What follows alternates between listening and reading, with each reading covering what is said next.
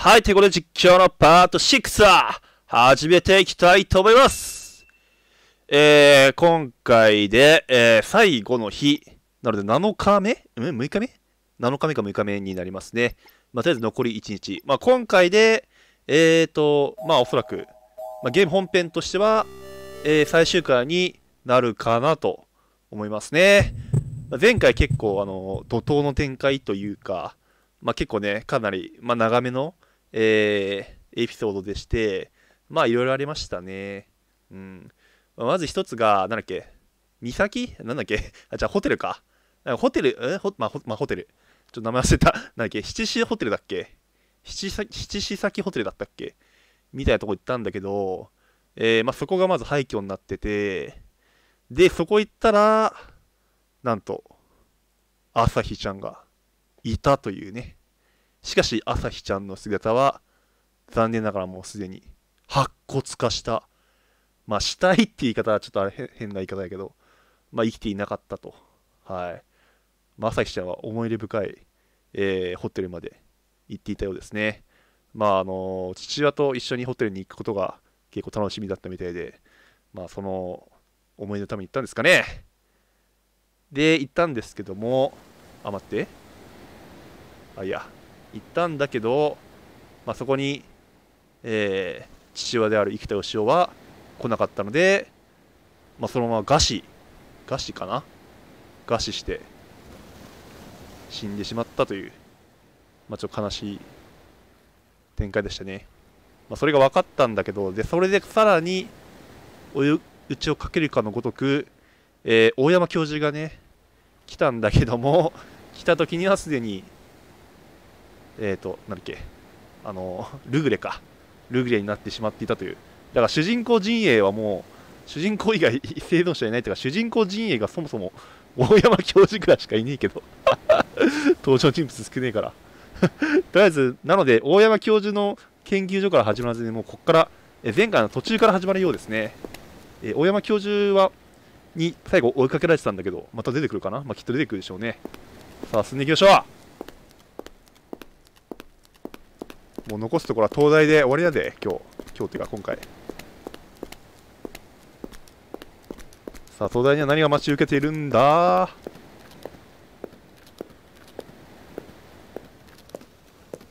え？いきなり誰かいいんじゃん？朝日？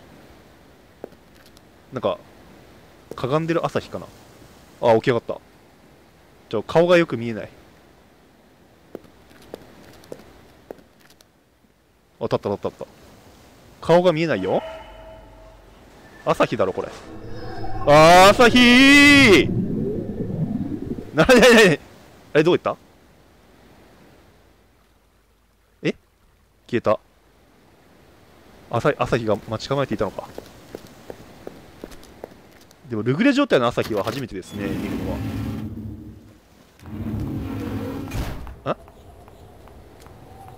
待って、なんか音がする。ちょっと待って。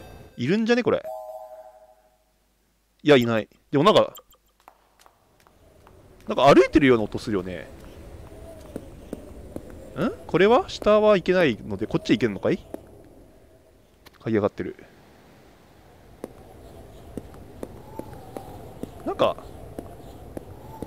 あー、突っかかった。なんか足音みたいなするような気がするような。で、出た、これ、螺旋階段くっそ登りづらいんですよ、このゲーム。超登りづらい。これ、めっちゃくちゃ登りづらいわ、螺旋階段。この、右斜め上にカメラを向けながら、かつ、あの、前方向に進むボタンを押しながらっていう。超やりづらい、これ。これ、くっそやりづらい、これ。操作が。これ、見ろよ、これ。超やりづれんだけど、これ。スムーズに登れねえもんな。引っかかるもん、なんか。自分の体見えねえから引っかかる。うわあ、朝日ちゃんふふふって。声、怖いよ、声が。果たして朝日は敵なのか味方なのか。まあ、味方とは思えないけどね。どこどこどこ？あ、いた。これちょっと一回触れてみるわ次笑い声聞こえたら。触れてみようぜ。死ぬのかな？ちょ触れ頑張って触れてみるわ。どうせまたいるんやろ。え？触れた。あ石像になった。いや地味すぎる。地味すぎる。どうせなあ朝日の殴殴るシーンが見たかったわ。え えー、何の脈絡もなくなんかゲームオーバー画面になったよ今。やっぱ止まんないといけないんですね。消えるまで。さあまだ朝日いません、うん、まだいません、うん、あ出てきました。はいちょっと顔を上げました。はいはい。で立ち上がると。でムービーですね。もう顔が真っ暗。やべえだろこれ。目と口あとなんか鼻のとこがなんか何今の？な何が起こった今？ちょっと解像度が悪すぎて何が起こってるのか分かんなかったけどなんかなんか体が顔がなんか顔顔がなんかうごめいしたような気がしたんだけど気のせいかなちょ笑い声が聞こえたら一回止まろう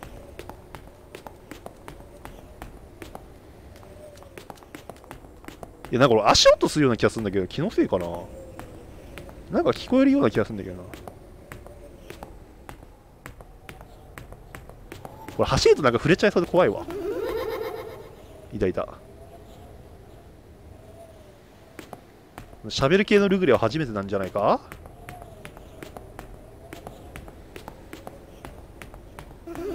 おっと危ない危ない危ない危ない危ない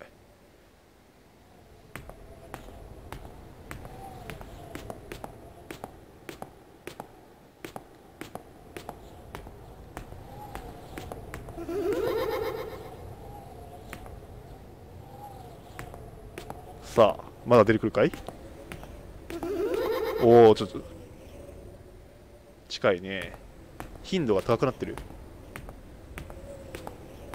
でもなんか朝日はなんか他のルグレーとはなんか違う感じあるよね。さっきも殴ってこなかったし。なんか違うんすかな何かが。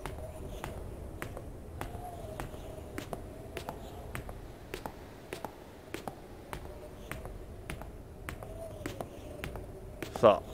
出てこなくなった。そろそろ着くかい？これ上着いたらもう他に行くとこなくね？終わんのかな？ちょ横ちょっと横を向いている。これランダムじゃないよね。指定の位置行ったら。違う違う違う危ない危ない危ない。なんで横向いてんのこいつ？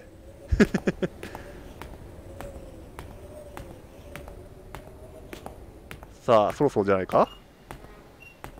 あなんかキーコキーコっていうなんかブランコは入れてるかのような音がする。どこ？あいた。あ着いたやった。さあ頂上。頂上っていうかなんだこれ？何が揺れてんの？何の音？なんか回ってるな。さあもう他に行くとねえだろこれ。終わんじゃねえ速攻で。意外と速攻で終わんじゃないのこれ。回ってますとなんか。さあ何をするんですか誰がいるんですか？これ何すんの、朝日。落ちるな朝日落ちるな待て朝日！落ちるなよ。落ちるなよ。落ちるなよ朝日。おい。はい落ちた。笑いながら落ちた。ああまだ続くのか。え？それで？何すんの？何すんのこれ？朝日は主人公何を見せたいのか？何をしてほしいのか？え？終わりじゃね？あ降りればいいんかな、まあ、一応もう一応もう一周しとこう。いや何すればいいのこれ？降りるか。なんか落ちてる？それとも？逆に下に。あー、見た感じね、特にななさそうやけどな。降りるか。帰ろう。帰ります。帰ろ帰ろう。朝日が落っこちいのを見届けただけ？嘘だろ、お前。それだけ？これでこのゲーム終わりも？もしかして。あ、ちなみにね、先言っとくとこのゲームマルチエンディングらしいっすね。これマルチエンディングらしいっす。ルート分岐が実はあって。まあルまあそうか。うんそうそう。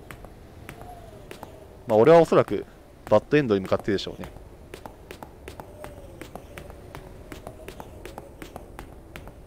うん出てこないですね。特に朝日は。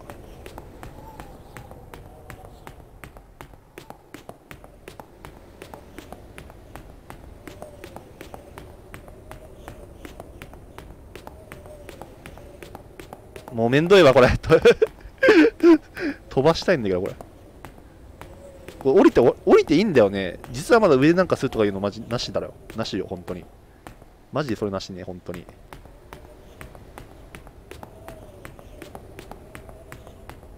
さあ何何か何が起こるんだ？下降りたら。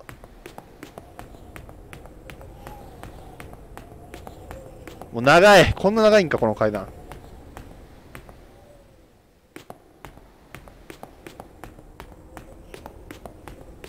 あ降りた。降り切った。さあ帰ろう帰ろう。帰ろう帰ろう。もう帰るぞ。つかこいつどうやって帰るんだろうな帰り。もう電車ねえんじゃねえの。あ開いた開いた。あさっき開からなかったのにな。もうすぐ朝だ。いなになになになにさん急に時間出てきたんだけど。なんだよ。なんだよ。急に時間出てきたんだけど。まあ、多分あの朝、まあ、0時超えて次の日になったら7日目？だから8日目？だからになって多分タイムオーバーになっちゃうんでしょうね。1週間経っちゃうのかな？なんか石像があるぞ。なんかすんのかな？あなんだなんだなんだなんだなんだ。ちょっと一回さ時間切れになっていいっすか？時間切れ見たいよねどうなるか。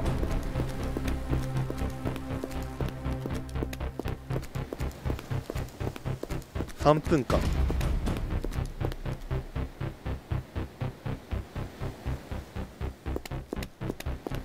まあ、さっきのは多分小高先輩の石像よねきっと。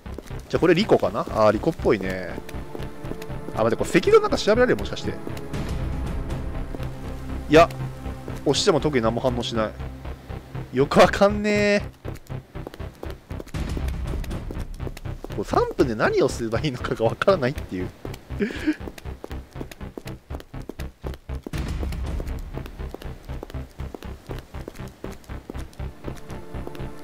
てかこれ主人公足遅いから割となんか普通に走ってんのに結構ギリギリな感じなんだけど時間が。これ誰だ？あれ？これも小高先輩じゃね？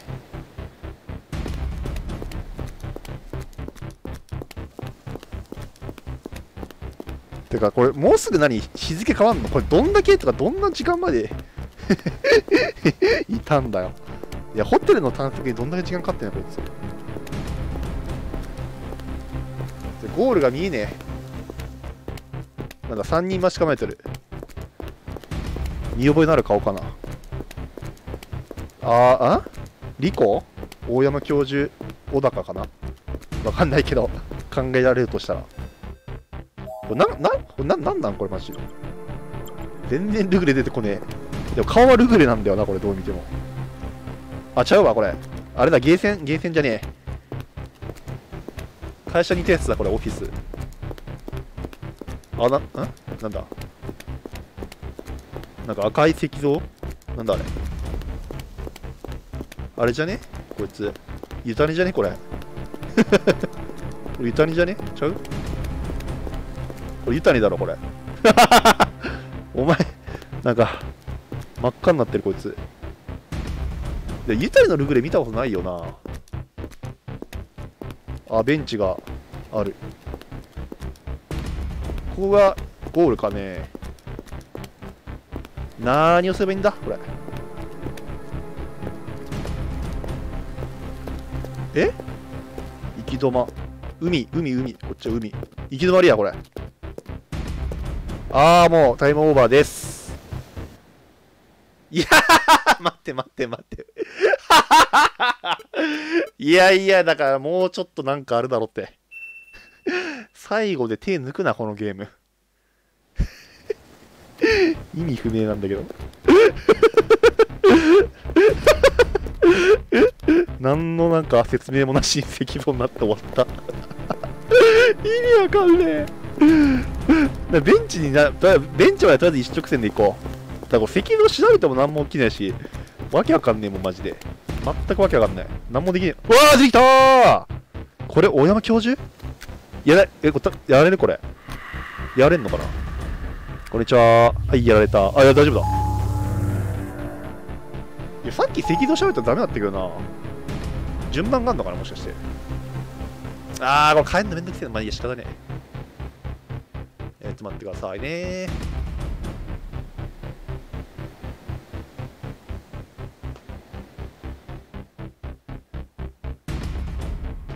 大山教授。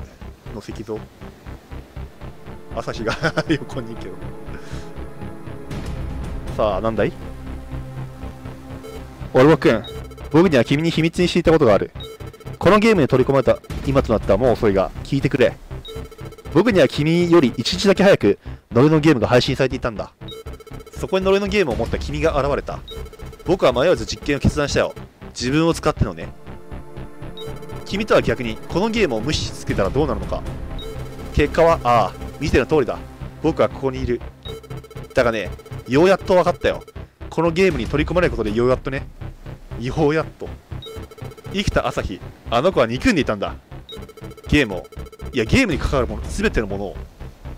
いやそれはもうなんとなく分かってるやろ。だから本来このゲームは生きた死があの子のために作ったものだ。えそうなの？それは知らないけど。自分のせいで母親を失ったあの子への償いの気持ちがいやそれだけじゃない。自分をゲームを憎むあの子に思い出してほしかったんだ。家族で過ごした幸せな日々を。幸い僕らは呪いのゲームを調べることでそのことに気づくことができた。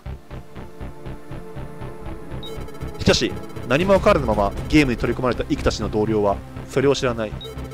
僕はこの事実を彼らに伝えようと思う。成功するかどうかは分からないがさあオルボックン急ぐんだ。時期夜明けだ。あ待て待て待て待て待て。あ待て待て待て。じゃあこれマジこれ時間足りっかな？ちょっと待って待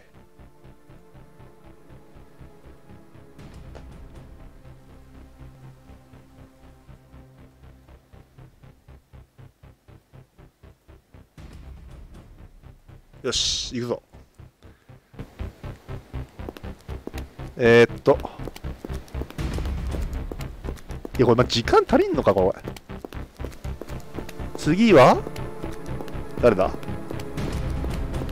これリコじゃね？てか最初小高先輩かと思ったら大山教授だったわ。違ったわ。さあ出てこいリコ。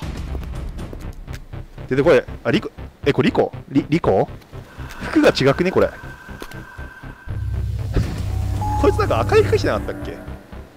赤い服着てた気がするけどな。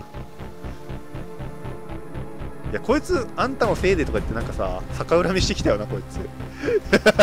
お前まず俺に謝ることあるんじゃないか？待って間違えた。ちょっと待ってくださいね。こいつ謝罪が先だろ主人公に対して。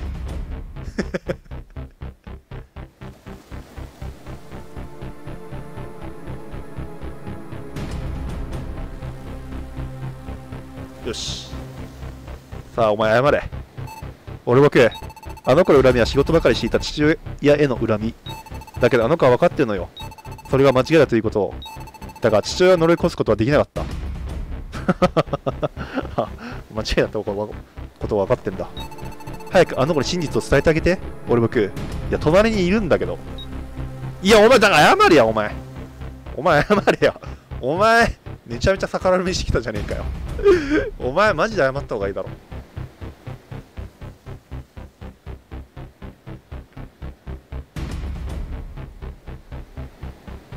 こいつ主人公のこと襲ってきたんだよ。なんか。全く謝罪しないんだけどさあ次は誰だ？これ走んないと絶対間に合わないよね。よかった走れて。俺最初初回の頃確か俺走れなかった気がする。やり方わかんなくて。お前小高だろ。お前も謝れ。お前も謝れや。小高先輩？じゃ主人公と小高先輩が話してるとこ。生前では見たことなかったなお前も謝れ。お前も謝れ。こいつも逆恨みしてきたからな。一回先に朝日に話しかけてみようかな。なんか怒るのかなこれ。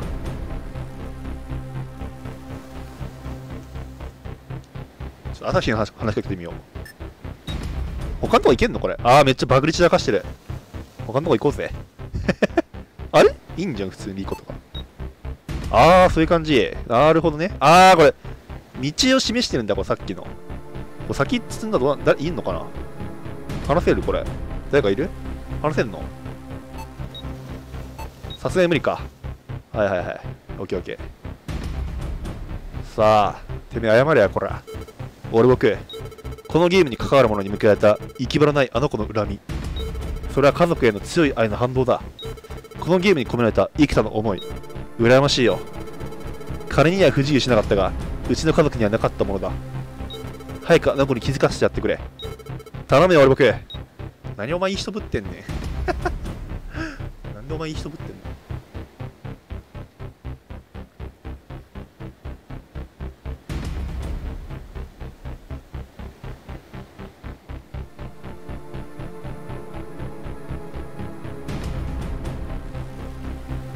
小高先輩。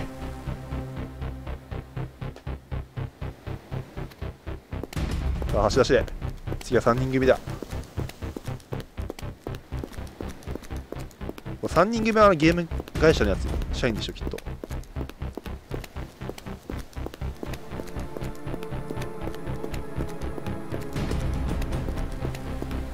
こいつら3人とも出現させないとダメかな。えこの女出てきたっけ？病院だった？あお前リコじゃなかったの？赤服の女の子リコだと思ったら違ったんや。いやだって生前のリコなんか赤服してなかったっけ？違ったっけ？お前なんちゅう格好してんだよっていうか。これ一人一人一人一人一人一人ずつ面草仕方ないからやるわでも。一人ずつ話召喚して話しかけていくパターンかこれ。だるいなこれ。生田はこのゲームをあの子のために作っていたの。殺伐としたものじゃなく優しく愛にあふれたこれゲームを。私も共感してその思いをこのメロディーに込めたの。2時間あ待ってちょえ？おい！ノンストップするな。ちょっとさ申し訳ないですけど俺こっちはこのまま行くわ。画面。どうせすぐなんで。こいつも病院 こい こいつも病院でって言ったの今主人公。このまま行くわ。めんどくさいんで。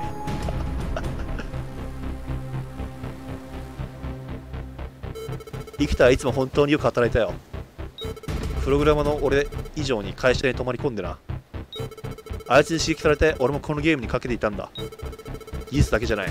ゲームでも思いを伝えられるんだってな。出たこの。こいつらみんなリタソフトの社員だったんだ。って言ってるお前 お前ハーフだろ。お前ルイーズの間だろ多分。おい！お前早く出てこいよ。ちょこいつなかなか出てこない。ちょっと待って。こいつなかなか出てこないっす。おい！おい！お前どこ行ってんだお前。時間稼ぎすなお前。あさっての方向行ってんじゃねえよお前。早く出てこいお前。入ってこいこいつ早く。何これ？お前時間稼ぎしてんじゃねえよお前。ふざけんな。おい！こっち向けこれ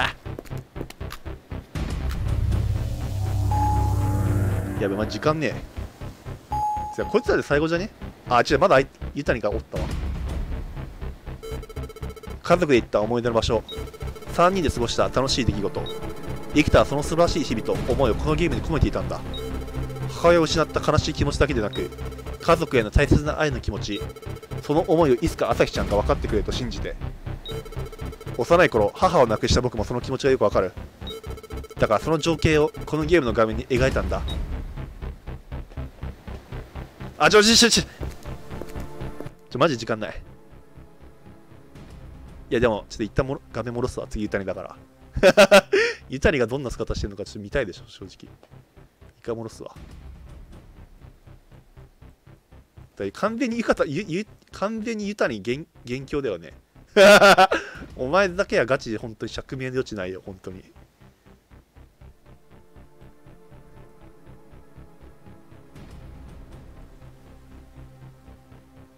さあ、ゆったにはなんて喋るんでしょうか。行きましょ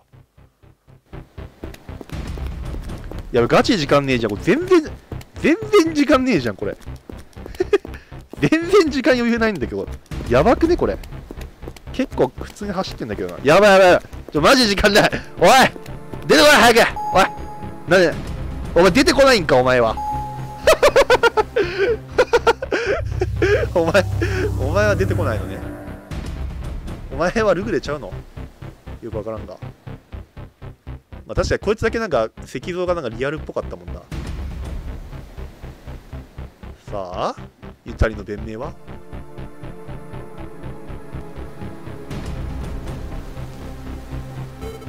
悪かった。俺が悪かった。俺はどうかしていたんだ。会社が追い詰められて、許せなかったんだ。売れそうもないゲームをかたくなに作る幾田を。え、そういう理由なの？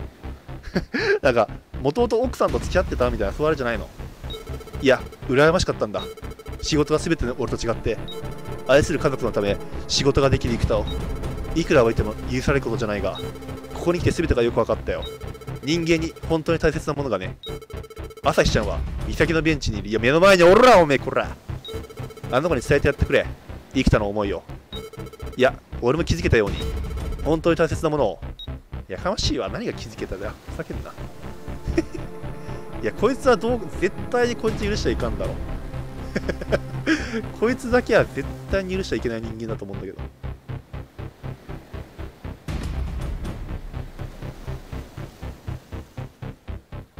生田に恨みがあったなら生田を殺せばいいのになんで奥さんの方を殺してんの？めちゃめちゃ謎なんだけど 普通に生田殺せばいいやんだったらさあ一応石像最後なんであとベンチ行くだけかな。ユタに。いけー。ベンチに朝日がいるのかい？朝日ちゃんはいるんかい？あいた。いやいない。いやいない。いない。おい。あ、じゃあ、あっち側にいる。よく見たらいた。やばい、10秒。あと10秒。おい朝日ちゃん。おい早く早く。おい。やる時間ない時間ない時間ない時間ない。時間ない時間ない時間ない。おなんだなんだなんだ。あっぶねえ残り5秒だった今。なんかねタッチしても反応しなかったからね一応 DS 開いたら なんか出てきた。さあこれが多分ラストステージじゃない？ラストステージっていうか最後のあれなんじゃないか？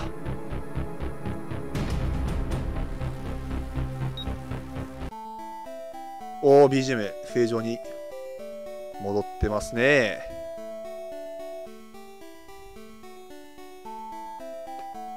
ちょっと待って。さあ朝日は許してくれるのか主人公。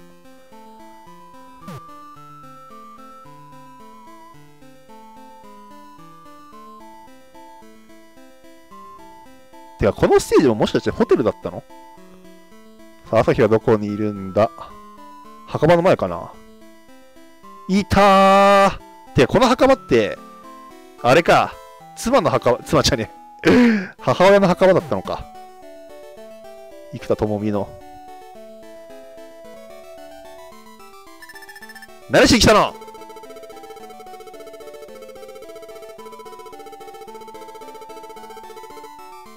ちょっと待って。ちょっと待ってくださいね。ここに来てまさかの下画面出てきた。ちょっと待って。ちょ下画面出てきたんで映しますね、下画面も。まさかの下画面出てきた、これ。これ読める？字。ちょっ、頑張って読んでくれ。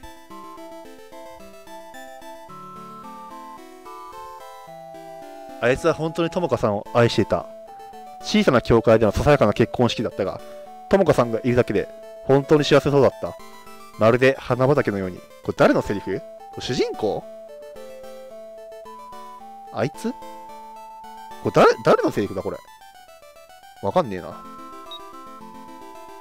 なんだよ、ば場所変わったんだけど。2階に行けばいいの？朝日いた。あの宝箱何あれ？マジで。何入ってんのあれ？私は許さないあいつは結婚してから別人のようになってよく働いた。朝日ちゃんが生まれてから、なおさらな。これ今までのステージやね、全部。で、これはホテルの部屋だったんだな。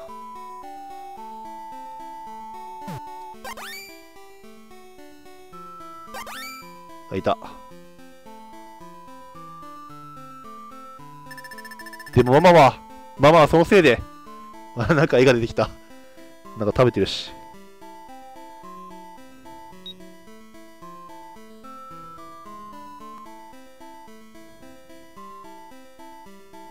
パパが、パパが一緒にいたら、いや、この絵は何？絵は何？これ最初のステージやね。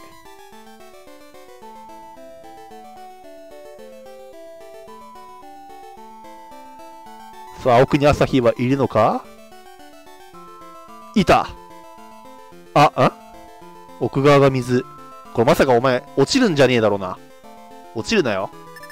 私も、私もそのせいで、花火。あ、続く、あ、ん？許せない。ママが、ママがかわいそう。ああ、ママあ、ちょっと待って。画面大きくするか。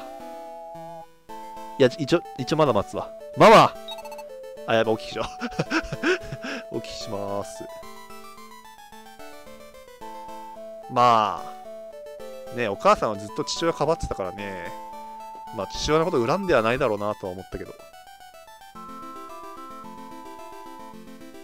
こに来て、おかんが登場した。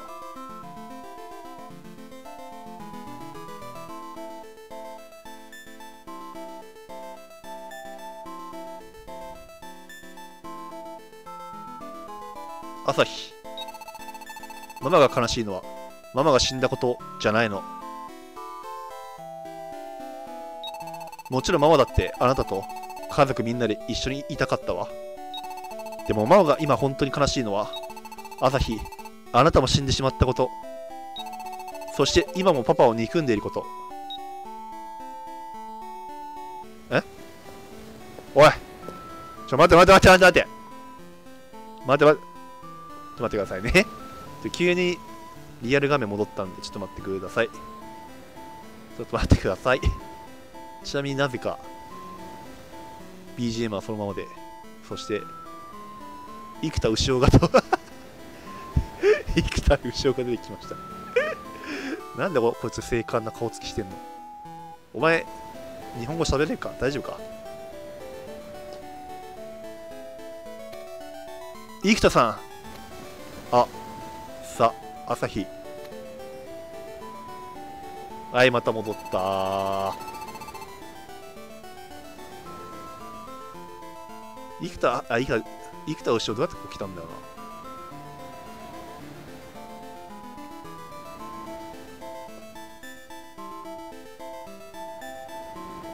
生田牛尾何歳だこいつなんかめちゃ白髪のじじいになってるよな。ママはとても幸せだったわ。パパと出会えて。ママはとても幸せだったわ。朝日が生まれて。ママは本当に幸せだったわ。朝日とパパとみんなと過ごせて。もううぜ腹立つ。そうもうこれ戻さなくていい。めんど下画面だけ映すわ横で。めんどいから。ちょ下画面で横で見てくれ。生田、そうか。友か。お前が導いてくれたのか。いやお前日本語しゃべれたのね。朝日のもとに。朝日。すべて私のせいだ。あ、ちょっとなんか長さが一戻すか。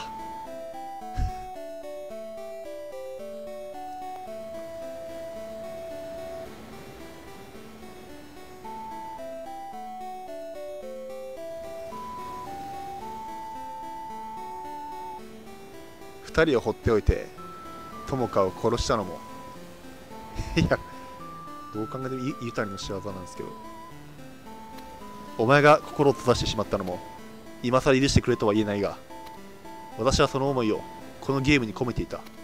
いつかお前に分かってほしいと願って。あ明るくなった？これハッピーエンドじゃね？通にハッピーエンドじゃねこれ。こっからバッドエンドの流れある？よくわかんないけど いやでもなんか後ろがなんか断崖絶壁になってるのがなんかちょっと怖いよね。なんか落ちて悲しい結末になるのやめてよマジ。切なくなるから それマジやめろよ本当に。パパああなんか色がもお前え？黒髪ちゃうのお前。おい何回も飲んねんこれすぐ。てかなんか周り明るくなったな。主人公は生きてるから。どうやらゲームの呪縛からは逃れられたみたいですね。終わった。いやここんな急に明るくはなんねえだろ。こんな急に明るくはなんねえだろお前。生きてる。生きてるよな俺。君は？いや今更？もうふざけんな。お前のお前家で出会っただろ。君はじゃねえよ。どっからあった記憶、これ記憶喪失してんじゃん。え、えー、困惑。それは聞いていいですか？なんなにとか、なんなんでお前普通に喋れるようになってんの？続きはどうなるんですか？このゲーム。知りたいかね？はい。やはり、作るべきなのかな？朝日と友か、二人に償うためにも、なんか、は？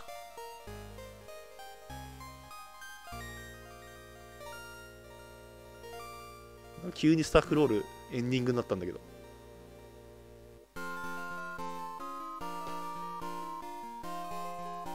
あー、すげえ、あのメインテーマのエンディング版になってる。いや、それにしてもストーリー意味わかんなすぎんだろ、お前。鈴木はっつって作るべきかなんじゃねえふざけんな。作ってねえじゃねえか、鈴木ちゃん。あ、若い時の、あれや、これ。二人でしょ、多分。友かと牛尾。朝日が生まれたんか。これ左上何これ風呂まさか。あのなんか水みたいな部分何あれ風呂場まさか。いや、2階に風呂場はないだろ、普通に考えて。トイレかな、じゃあ。ホテル。んなんで朝日茶髪みたいになってんの？明らかに黒髪だったんですけど。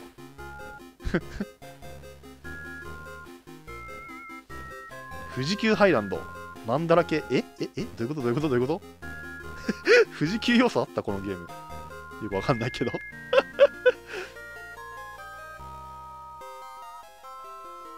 石像。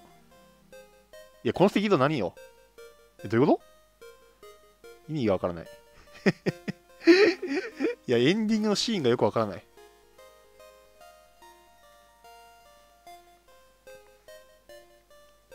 ないないない。どういうこと？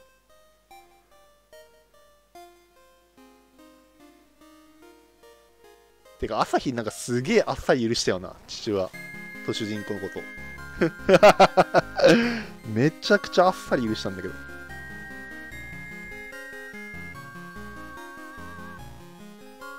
高橋敦夫、高橋圭介、高橋義行。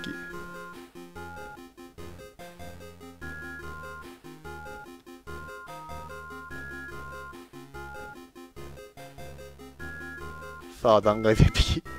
すか、この断崖絶壁危なすぎだろ。なんで普通に立ち入る？危な、どんなとこにベンチあんのか頭おかしいだろ。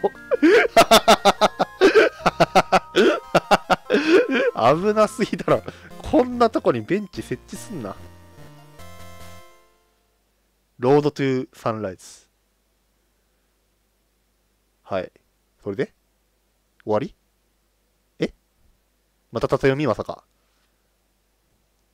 あ、お、え？あー、TS。はい。なんですが。クリアデータをセーブしますか？はい。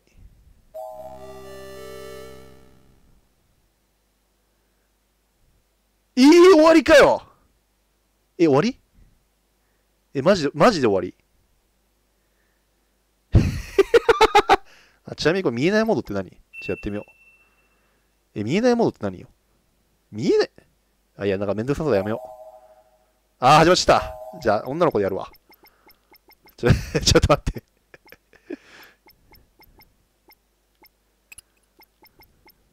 え、女の子主人公だとちなみにどんな感じなんだろうな？ちょ、これ飛ばそう。全部飛ばせんのこれ。スキップできるのかなちょ、めんどくさいんで画面このままでいきますね、一体。一回。これ女の子主人公パターンってどうなんの？女の子主人公だったらさすがにリコがさ、リコが主人公のこと好きになることはないだろう。それともリコが男になる。登場人物生物変わるもしかして。ワンチャン変わる説あるかないや、ワンチャン変わる説ありそう。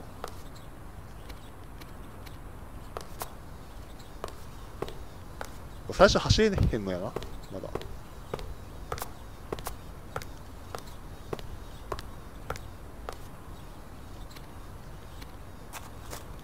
やっと走れる。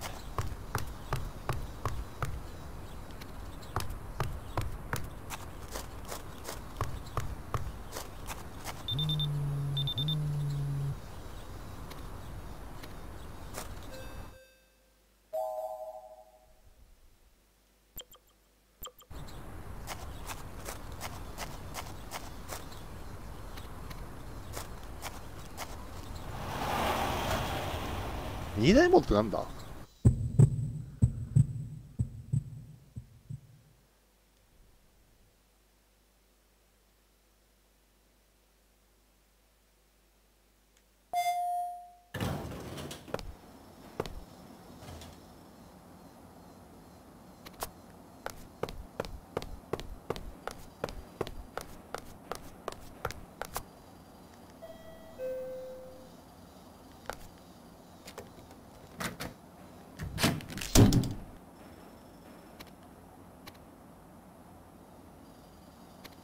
あ、リコ。リコは結局女のままなのよ。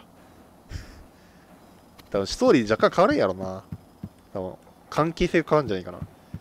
男だとリコが自分のこと好きだけど、女の場合どうなんだろう。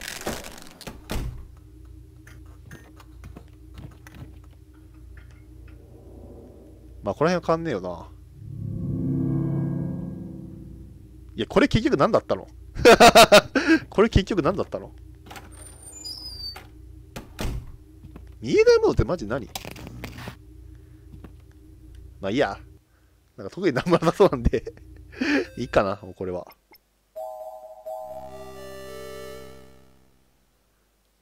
はい。